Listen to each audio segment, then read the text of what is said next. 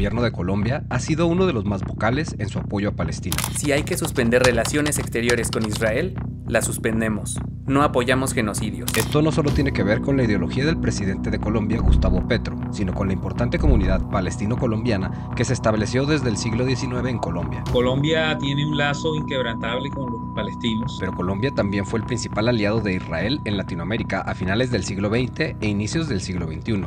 Y al igual que en otros países de América Latina, Israel ha jugado un rol significativo en su historia. Inclusive dos candidatos presidenciales fueron eh, asesinados por las balas de la ultraderecha que a su vez estaba asesorada y armada en buena parte por Israel. Entrevistamos a dos expertos en la relación Colombia-Palestina para entender mejor este vínculo histórico. Una de sus conclusiones es que la postura de Colombia es solo un reflejo del papel de América Latina en este conflicto. ¿Cómo se refleja? Con la polarización que existe en la región, donde hay una tendencia a que la izquierda abandere la causa palestina y la derecha apoye a Israel. Es lógico que sea el sur global el que esté desafiando este último caso de colonialismo. Es un reto importantísimo que se desligue la defensa de las aspiraciones palestinas de cualquier partido u orientación política e ideológica.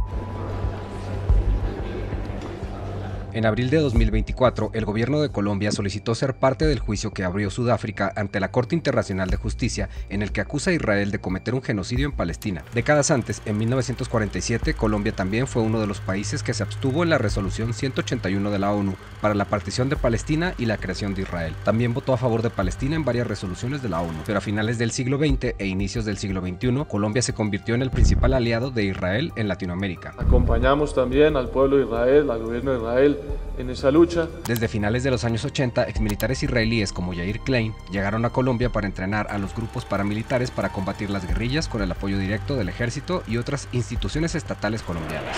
Los aviones Kafir y el fusil Galil se convirtieron en las principales armas del ejército colombiano para luchar contra las guerrillas y los cárteles de la droga. Los asesores israelíes asesoraron a los paramilitares que desplazaban a los campesinos colombianos, así como hacían allá en Palestina, con más de 500 villas palestinas en lo que conocemos como la Nakba o catástrofe. En realidad, Israel no solo intervino en el conflicto armado de Colombia, también dio apoyo con armas a las dictaduras en Nicaragua, El Salvador, Chile, Argentina y Brasil para combatir grupos guerrilleros o revolucionarios. Y apoyos, inclusive también económicos, a gobiernos eh, totalitarios, autoritarios de derecha en el continente. Estamos preparando varios videos sobre la relación de Israel con América Latina. Suscríbete a nuestro canal para tenerlos en el radar. Y si tienes una duda sobre el conflicto en Palestina, déjanos un comentario abajo.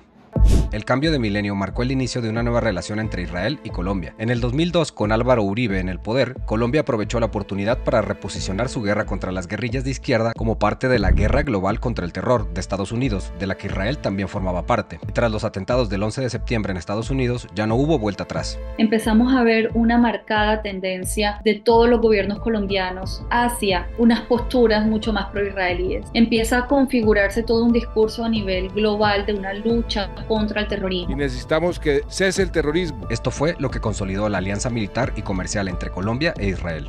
Desde entonces, Israel ha sido uno de los principales proveedores de Colombia de aviones de guerra, equipos de vigilancia y fusiles de asalto. Por otro lado, en 2018 el presidente Juan Manuel Santos realizó un viraje de la política exterior de Colombia al reconocer a Palestina como Estado, justo antes de dejar su cargo en lo que Israel catalogó como una bofetada a un aliado fiel. Entra Iván Duque, que es un, pues, el segundo de Uribe, básicamente, el secretario de Uribe en la Comisión Palmer, y es una entrega absoluta a los intereses sionistas en Colombia. The state of Israel is not only a partner.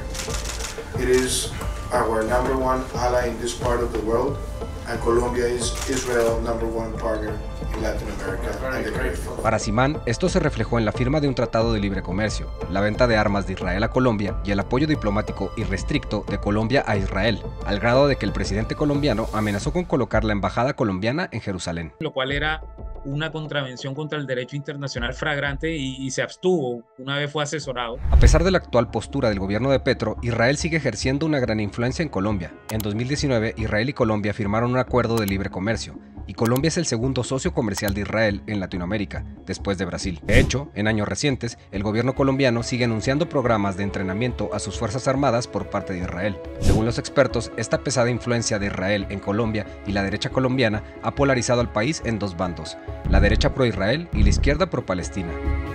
El gobierno de Gustavo Petro, al ser de corte izquierdista, rompe con el patrón de las políticas de los presidentes colombianos de derecha con Israel y el conflicto en Palestina. Ningún demócrata en el mundo puede aceptar que Gaza sea convertida en un campo de concentración. Si hubiera vivido en la Alemania del 33, hubiera luchado al lado de los judíos. Y si hubiera vivido en Palestina en 1948, hubiera luchado del lado palestino. Hay que recordar que el presidente Petro pertenece a una corriente ideológica que fue muy golpeada en los años 90, en los años en que la derecha o la ultraderecha mandaba en Colombia y que llevó a la, prácticamente la aniquilación de uno de los principales partidos políticos, la Unión Patriótica, un partido de izquierda, a la cual Petro no pertenecía, pero muchos de sus colaboradores sí. Petro ha recibido críticas de sectores vinculados a la derecha y a las Fuerzas Armadas de Colombia, que dicen estar preocupados porque una ruptura de las relaciones con Israel debilite las relaciones de Colombia con otros países de Occidente y afecte el suministro de armas. Al cierre de la edición de este video, estas relaciones no han cambiado a pesar de las declaraciones de ambos gobiernos. Para Simán, es probable que la situación se mantenga igual. Para los entrevistados, la historia en común de colonialismo y violencia que tienen Colombia y Palestina ha ayudado a que cada vez más se esté despertando el apoyo popular a la causa palestina. Aunque en un país tan polarizado y que ha sufrido del intervencionismo del llamado lo visionista de Israel, es difícil saber si la mayoría de los colombianos está de acuerdo con la posición de su gobierno sobre Palestina. Lo cierto es que cientos de personas y organizaciones de la sociedad civil se han manifestado en apoyo a Petro y la difícil situación de los palestinos.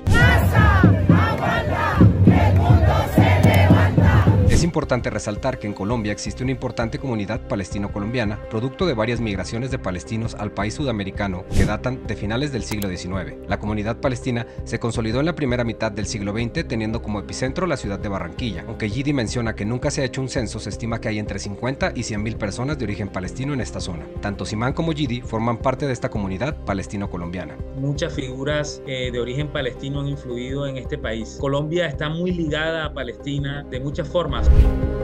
Simán menciona que existen paralelismos en la violencia colonialista que han sufrido Colombia y Palestina. Uno de ellos tiene que ver con el 9 de abril, fecha en que se conmemora la masacre de Deir Yassin, un pueblo cercano a Jerusalén que fue aniquilado por paramilitares israelíes en 1948. Ese mismo día de ese mismo año asesinaron al líder popular colombiano Jorge Eliezer Gaitán. La hija de Gaitán ha sostenido que el gobierno de Estados Unidos estuvo involucrado en su asesinato, pues era visto como un alfil del comunismo. Desde una perspectiva occidental, América Latina se ve como el patio trasero de Estados Unidos y una región muy supeditada y dependiente de las políticas estadounidenses. Sin embargo, ante la perspectiva de un nuevo mundo multipolar que, que ya se vislumbra, sí hay países como el Nicaragua, Cuba ni se diga, y corrientes en, en, en otros países, Bolivia, Venezuela, y oposiciones dignas en otros países, Brasil, por ejemplo, que se están empezando a despertar de ese poder hegemónico norteamericano.